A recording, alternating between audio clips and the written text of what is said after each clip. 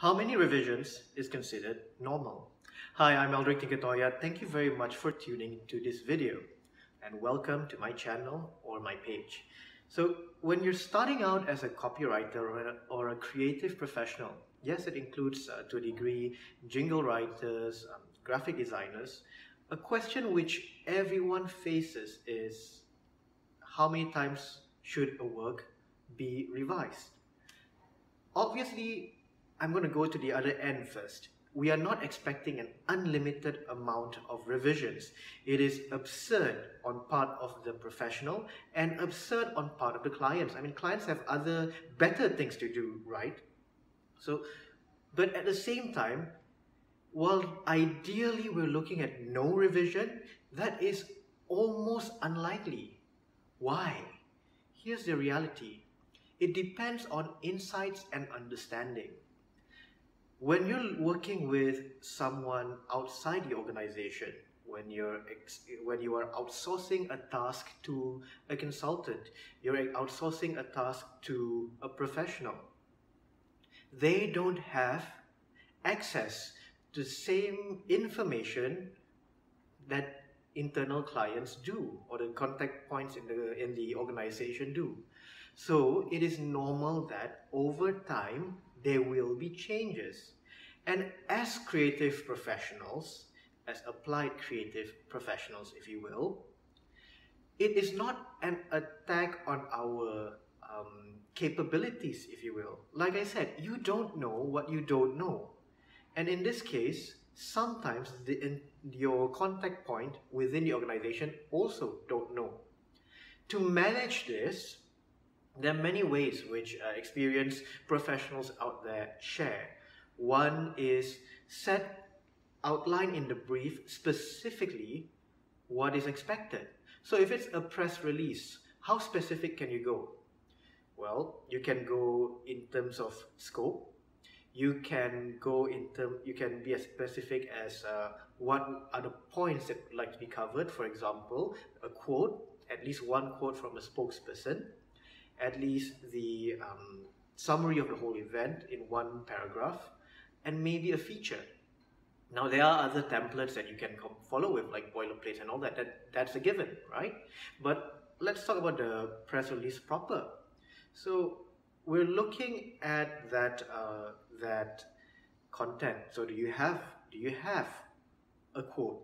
Do you for approval? Do you have the description of the event or the launch or the partnership?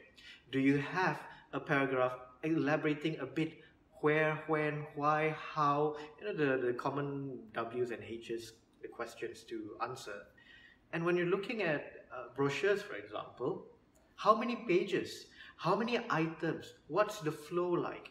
Usually, once the flow is ascertained by client or intermediary and the professional, it's easier to picture what to write. Now within the copy itself or the, the content itself, that's where things can become ambiguous again. It, become, it can become subjective. It is only objective when it's clear cut. For example, if you're writing a brochure for property, to sell a property. Obviously, the dimensions, the specifications are objective. It is what it is, right? So that one you don't have to. You don't have to. Um, you, you can expect minimal or no revision there. But the expression or selling of one product within that brochure, that is where revision, uh, revisions can come in. Perhaps it does not fit the language of the target audience if you're selling entry level homes for single families or young or working adults or first time home buyers, it's different in terms of mannerism, in terms of tone, in terms of language style than if you're selling, say, a luxurious property. And it's true across the board. However, there are things that is universal irrespective of the target audience, irrespective of what you're writing for. And that is hygiene. When I say hygiene, yes, you can picture it as cleanliness, but we're also referring to the absence of grammatical errors, the absence of typos, complete sentences, if you will. I mean, yes, sometimes copywriters we tend to use one worded one word sentence like yes, no, wait. Eh, that's not what I mean. What I'm referring to is maybe a uh, a sentence that you know the house is full stop.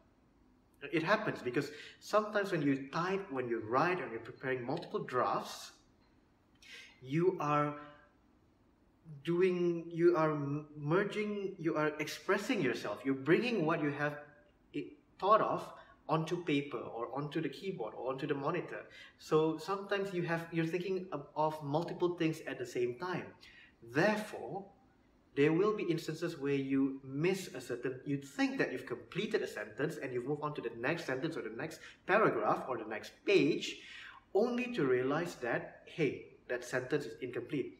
So to avoid or minimize that, you can add another layer of copy editing or editing or in proofreading before submitting that draft to the client.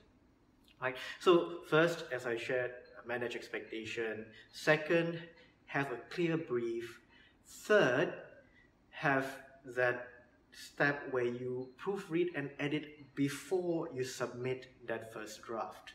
Yes, there are multiple drafts before the, the first draft or the draft that the client sees, the final, the revision, the revised one, the final version, if you will.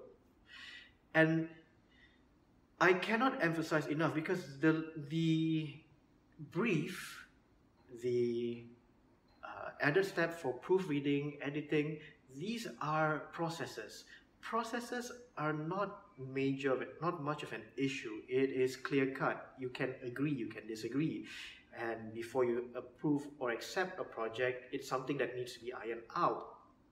And the more people are involved, the more professionals are involved. Let's say you're dealing with a graphics designer, uh, whether it's internal or external, the brief also has to be aligned, right? So these are processes and it can be improved over time. And there's a black and white trail. The one that we will always struggle with, especially as creative professionals, would be that internal uh, expectation. The internal expectation that we have towards ourselves. We are, many people talk about managing the client's expectations.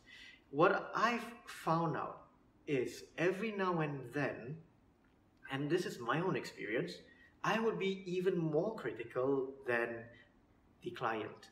I would justify it, hey, I'm the, I, that's why they outsource the work to me, or that's why I'm assigned to do the work, because I'm supposed to worry for them. Now, this is to a degree a good approach, but it can hold you back. It holds you back from being able to deliver what you need to, de- to, to deliver. It holds you back because you will always question the work that you do. When you're writing, when you're designing, it's not like drawing a straight line. I mean, a measure of a straight line is well, is it aligned to the corners? Can you can take a you can take those um, protractors or if you will, the ones that measure the angle, you can drag the guidelines on your software to show to see whether it's straight or not, whether it's aligned or not, right? But when it comes to expressive, uh, the expression of your copy or your text or the work that you're doing, there is no real guideline other than the obvious.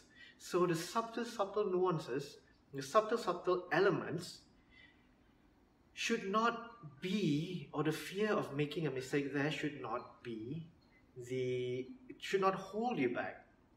And here is the thing having an approach where, number one, while you have safeguards, understand that you don't know what you don't know until it is made known. So, mistakes will happen, revisions will happen. Accept that as part and parcel of our line of work. However, avoid obvious, glaringly obvious, factually misleading, factual mistakes or grammar typos and uh, you know typos, uh, obvious mistakes. Mistakes in terms of expression, again, is something that we can expect because we don't know what we don't know until we know what we don't know. That is why many consultants out there, whether it's economic consultants, um, engineering consultants, research consultants especially, they gather as much data as possible to ensure that whatever final product that they provide will be as sound and as concrete as possible, especially when it is subjected to peer review, when it is being reviewed by uh, future researchers or the like, when it's adopted into policy, for instance. We try to gather as, as many data as possible to get that right insight. But when it comes to preparing a brochure, when it comes to preparing a TV script, no, you don't have that luxury of time off more often than not. And sometimes it's unnecessary. Once you have the parameters, meaning it, should be contained in that brief, you have the uh, checkpoints, you have the check, uh, the yeah the checkpoints, if you will, the essential items, then and clear it throughout your process, clear it with your uh, proofreading process, your editing process, so that whatever the clients receive, it will be the best that you have created. Oh, one more thing, please be careful of autocorrect. There are so many times, especially when you are doing it in multiple languages, where autocorrect kicks in and you may not realize it, it becomes a typo. Okay. Thank you very much for watching. Do share with me your experience in how you manage expectations, especially your internal expectations, and how you manage um, your client's expectations. What other measures do you do to tackle this issue of revision? What is reasonable for you and what is unreasonable? So thank you very much for watching. Do like, share and subscribe to the channel or the page and thank you very much. Bye.